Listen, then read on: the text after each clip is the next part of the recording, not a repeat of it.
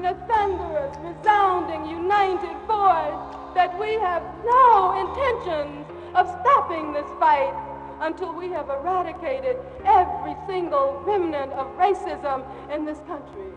Until we, until we have ended the war in Vietnam and the neo-colonialism in Africa.